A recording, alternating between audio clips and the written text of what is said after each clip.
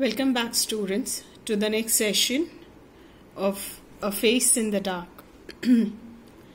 we had already started with the chapter in which we know that we had been introduced to Mr. Oliver, who was an Anglo Indian teacher, and uh, his daily uh, routine was to go and visit the Shimla Bazaar.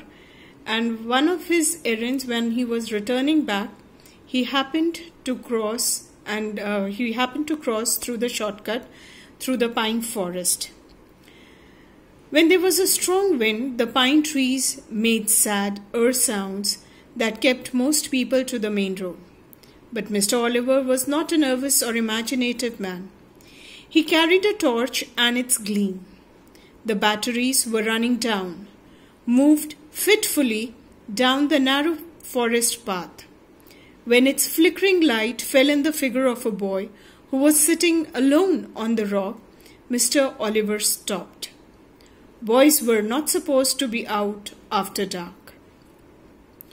So we see in this paragraph that there is a strong wind which is blowing, and accordingly, the author has created a very haunted and an evil expression by speaking about the earth sounds and because of the sounds of the wind which flows very strong and hits the pine tree in this time he's trying to create and indicate that something evil is about to happen.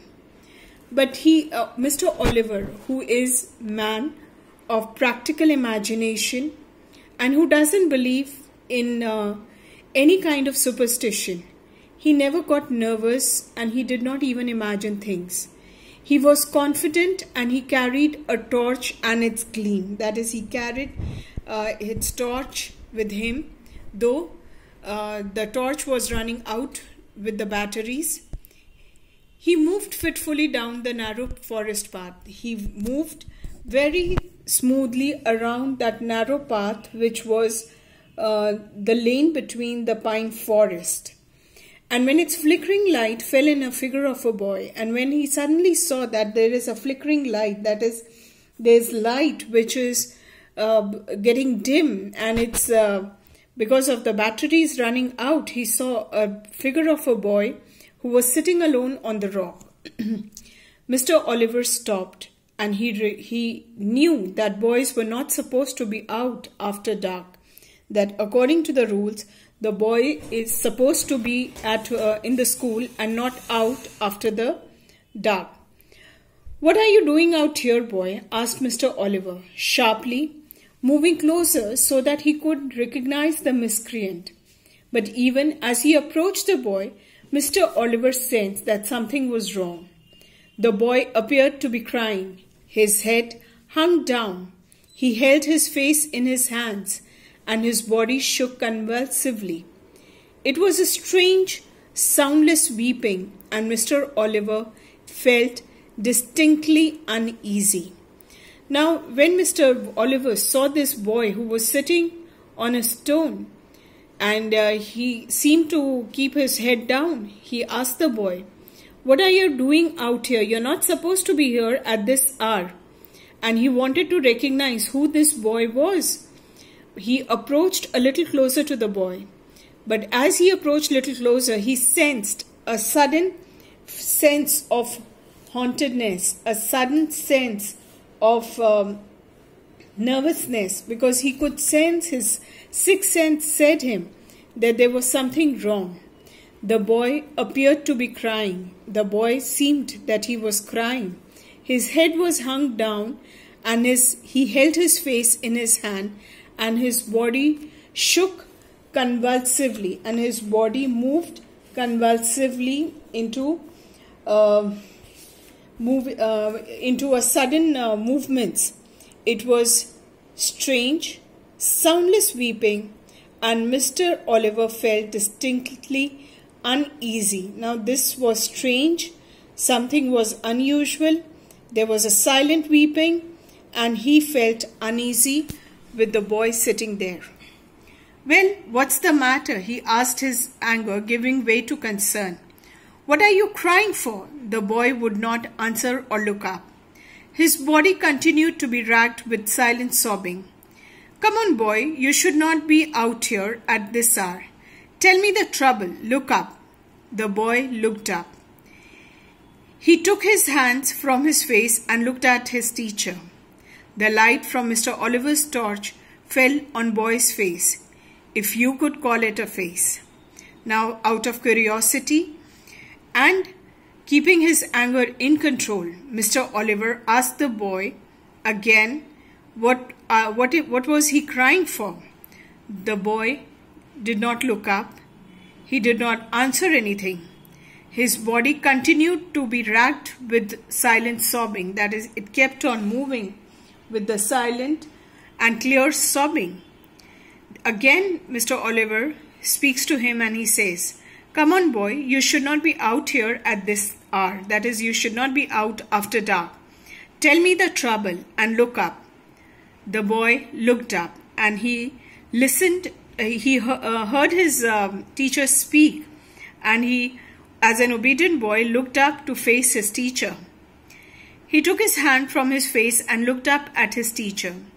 And while he looked up, the light from Mr. Oliver's torch fell on the boy's face as if you could call it a face which was unsure. It had no eyes, ears, nose, or mouth. It had just a round, smooth head with a school cap on top of it. And that's where the story should end. But for Mr. Oliver, it did not end here. Now, when he when he saw the face of the boy, he was astonished. He was uh, shaken aback because it had no eyes, no ears, no nose or mouth. The face was featureless. It just had a round, smooth head with a school cap on top of it. And eventually, the story should have ended here. But Mr. Oliver, for him, the story doesn't end here. The torch fell from his trembling hand. He turned and scrambled down the path, running blindly through the trees and calling for help. He was still running towards the school building when he saw a lantern swinging in the middle of the path. Mr. Oliver stumbled up to the watchman, gasping for breath. What is it, Sahib? asked the watchman. Has there been an accident? Why are you running? After so looking at this unusual scene, Mr. Oliver was shaken. The torch fell from his hand. He was trembling. He was nervous. He turned and he scrambled down the path. He went on, blocking the path, running blindly through the trees and calling for help. he was still running towards the school building when he saw a lantern swinging in the middle of the path. Now, when he was running and he was gasping for breath and he was trembling, he was in terror. And while he was experiencing all this, he suddenly sees a ray of hope in a form of a light in the middle of that path in the middle of that forest that a uh, lantern was being hung in the air and he stumbled to the watchman and he took a deep breath. The watchman asked him, What is it, Sahib? Has there been an accident? Has there been something unforeseen? Why are you running? I saw something, something horrible. A boy weeping in the forest, and he had no face. So he says, I saw something which is very terrible. A boy was weeping in the forest and he had no face. No face, Sahib? No, he did not even have no eyes, nose, mouth, nothing. So he explains that there was nothing to uh, see, see as a feature. There, he had just a blank round face. Do you mean it was like this, Sahib? asked the watchman and raised the lamp to his own face. The watchman had no eyes, no ears, no features at all, not even an eyebrow. And that's when the wind blew the lamp out. So as he, uh, he faces another trouble, he, he, the watchman says, do you mean that there was uh, th that there was uh, nothing on the face just like this and he raised the lantern the light showed his face which was similar to the boy and in the meantime, as Mr. Oliver looked at it, the light of the lamp was blown out. With this, we come to the end of our um, this prose, A Face in the Dark. We'll be doing with the theme, title, and the critical appreciation of the uh, of the prose in the next class. Thank you.